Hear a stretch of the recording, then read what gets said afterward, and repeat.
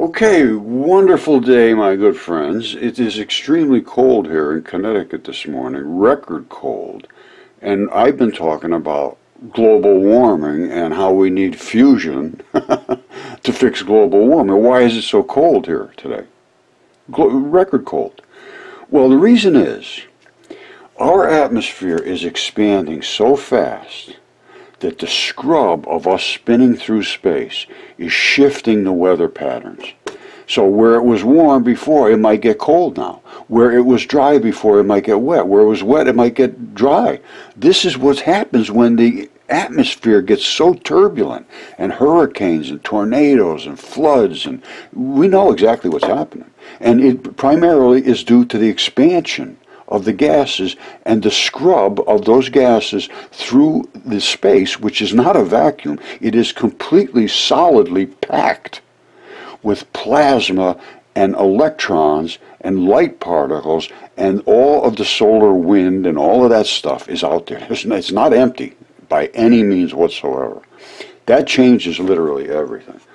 Now we're going to look into fusion here because I think I know how to make fusion now. I could be wrong. I could be totally wrong. But it would take a month to find out. And then if it was right, the world literally is golden.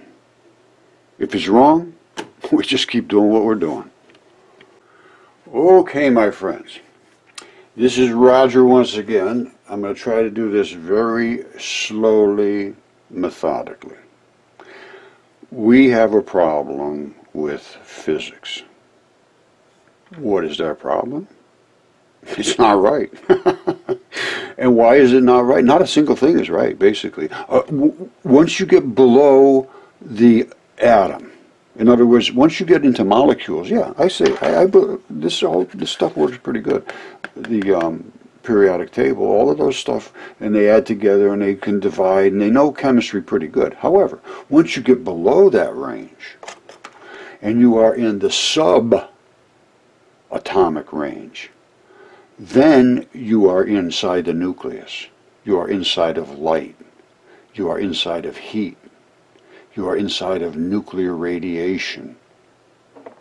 All of those things. And that's where I work. That's the range I work in, the light range. So, what am I looking for? I'm looking to see if we could accelerate light, and it appears we can. This is a pulsed red laser, and there is a particle inside that beam. Each one of these pulses has a particle. And the particle is this particle here. Okay, you see the particle? I don't know if you can or not, but it's a black and white particle, and it is this particle right here. And we could split those particles. And the way we split them was to shoot the light, the laser, through a venturi. And a venturi is nothing more than a funneled restriction. Basically, that is it. However, the tip of the venturi has to be exactly the right size so only the white can get through. Because the white and black particle that I showed you here, or will show you, I don't know if you can see it or not. It's kind of, let's see if I can shoot in on it a little bit. All right, yeah, now you can see it, I think, I hope. Now, so that's the particle. Now, we were able to literally break that particle. It's called fission. When they break something, fission is fission. And when they come back together, which they do almost instantly, that's called fusion. And we did cold fission and fusion right on the desktop. And there it is right there. I'll show it to you in, in extreme detail. But this is the new model right here. It's as simple as this. Very, very simple. There is nothing other than electrons, which you always want to have a black and a white particle attached together. I'm pretty sure that's the case. I can't be positive, to be honest with you, because I saw some stuff that was done in outer space that sheds a little question mark on that, whether they are always, always, always, always, always attached and there's nothing but electrons. Or are the sterile muons floating around just waiting to do something? And the electrons, are they heat? Something heat flows in and out. It's not just rubbing something and they're all jumping in and excited and that's what heat is. No, it's pushing electrons in.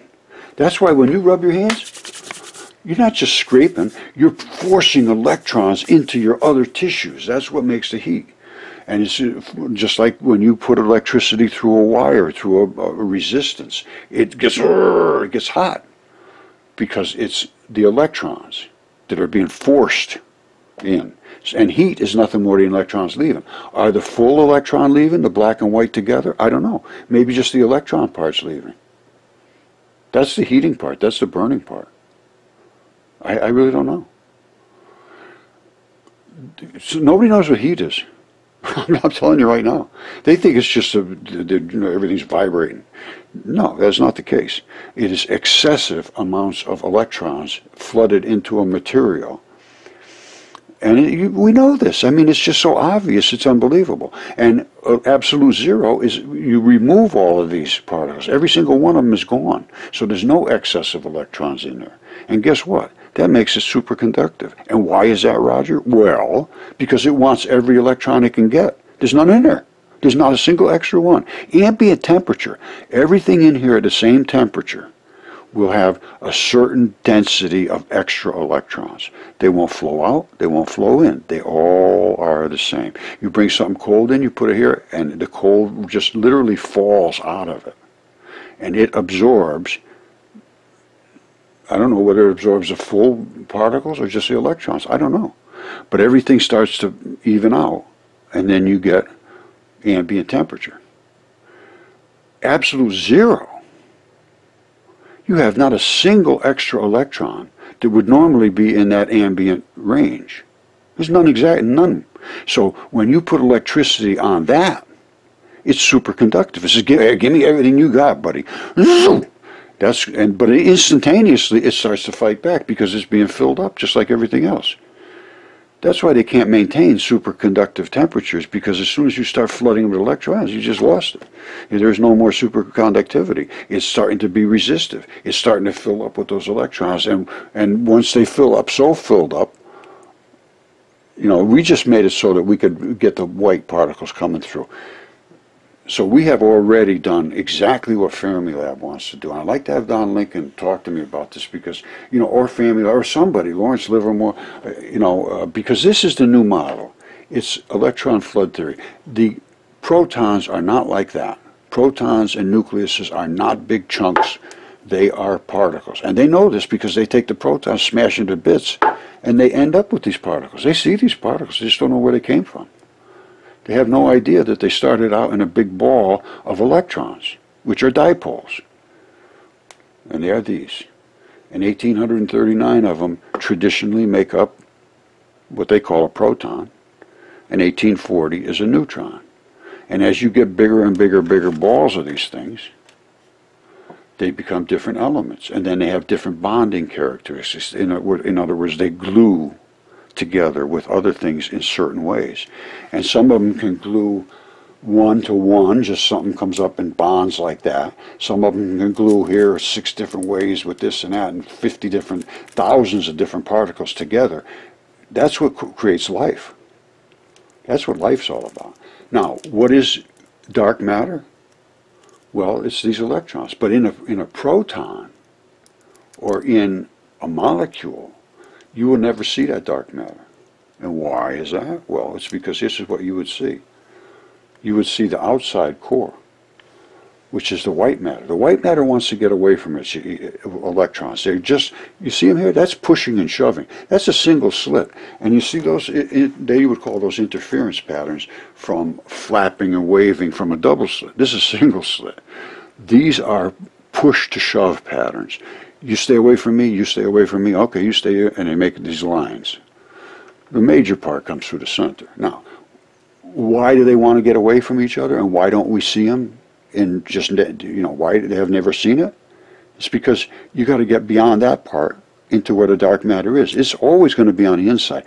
Every single thing that there is, a hundred percent of everything, as far as I can determine, until we created these sterile muons, I, I believe every single thing there is, 100%, is literally coated with electrons. And there is a law, I can't remember the name of the law offhand, where nothing will touch each other. As soon as you get down to the angstrom unit, as close as you can get, they will try to bounce away from each other. Now, magnetism is a little different, but uh, they're still not going to like touch the center cores. There's still going to be that field effect that will always be, even magnetism. It'll want to get there, but it can't quite get there. And I can show that. Watch this. Okay, I'm about to freak you out.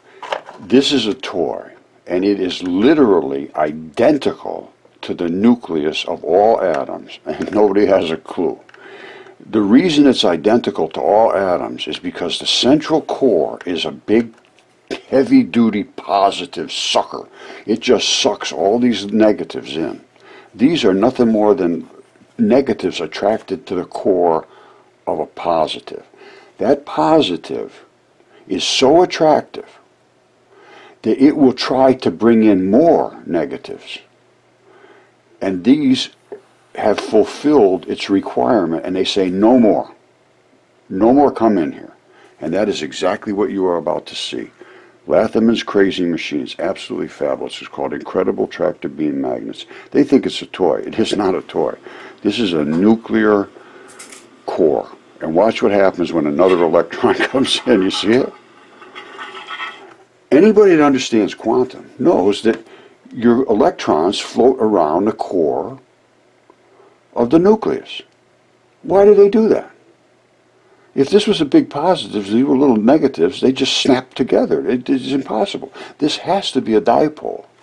And it has to be more attractive in the core than it is outside. So the core is still trying to drag more negatives in, but these negatives say, no, no, you cannot come in here. We have plenty surrounded here. Don't come in here. And it says, well, what do you want me to do? And it says, I want to get into that center. And it says, you can't get to the center. We won't let you. And that's called at the quantum distance. It says, well, if you stay right there, you can stay there. I know you want to get in there, and you want to get in so hard, and we want to push you so hard. This is push to shove. I'm trying to push my way in, you're shoving me back out. Push to shove. It creates an atomic angstrom unit distance. Angstrom units are, are measured in very, very tiny, tiny, tiny little distances. Obviously, you can't see. This will never do an angstrom unit. Angstrom units are down to the point where you can't even see them. Well, you're never going to see them because they're in the nucleus. Now, you can only see them with some of these new tools we have that really sort of show what the nucleus is designed like. I've, I've, I, well, I'm going to show you the electrons. We've seen these, and we see exactly what happens here. It's not a big mystery anymore. The mystery is that we can't get anybody to look at it. but here's what's happening. This will stay there forever. This guy can shake it around and bounce it. Now, here's what happens when he when he goes fast. All right, let, let's just let's just stop for a second. This is yeah, just sort of walking around, like bouncing around, this thing rolling around, doing this and that. No big deal. But then you hit, hit it with a heater, it starts getting hot. And it's going to start getting hot right now. He's going to start shaking and shoving. This is push to shove. Boom, boom, boom, boom. See? Now watch that electron move. You see it moving its orbits? This is the bounce. And this bounce determines the light that we see. You say, oh, Roger, how can that bounce determine a light? Well, the bounce is frequency. The bounce is how hard that spin off of the particle is. It's going to spin out of there. And when it does, if it's spinning real fast, it's in a blue range. If it's spinning, spinning kind of slow, it's in a red range. Simple as that. And it, we're, we're shining the same light on the same stuff. All right? So let's take this chart right here. All right, we're shining the same light on there. Why are all these different colors? How, how come they're different colors? Why doesn't the light just shine back the same as the light we're shining at it? The reason is it's chemistry. This bounces back different than this. The blue bounces a little more intensely back than the yellow and the, um, you know, the down into the red range. They don't bounce as fast. And I can prove this because I can show red versus green bounce. We've gotten down into the nuclear core and seen, well, we've gotten down into light and seen the actual particles. And I think I've shown you that before, but I'm certainly going to show you again. All right, the reason I titled this Absolute Zero is just absolute zero electrons, because that's exactly what it is. As you remove temperature, all you're doing is removing excess electrons. Those are the things that flow. Once you hit almost, or if you could hit absolute zero, you have quantum effects, Bose-Einstein condensates, superconductivity, superfluidity. What is superconductivity? It just means as soon as you put electricity, phew, it just goes like a rocket ship. Nothing stops it. There's no resistance. Well, guess what? One instant after you start to put electrons into that, which is nothing more than energy, nothing more than electricity, nothing more than heat, it starts to push back. So superconductivity only happens if you can be exactly at zero extra electrons. No extra electrons in there.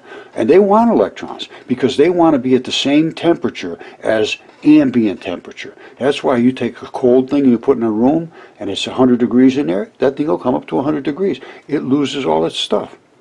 It wants to be at the same temperature as everything. If you kept a, um, a superconductive item in a superconductive ambient temperature, it would just stay there. But as soon as you put any extra electrons in, which is heat, which is electricity, you lose it. No more, no more superconductivity. So absolute zero is literally absolute zero extra electrons. That's why I called it the, the name I did.